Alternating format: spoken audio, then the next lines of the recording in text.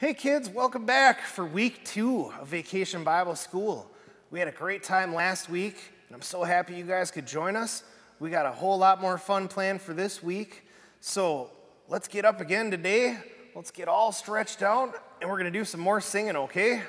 All right.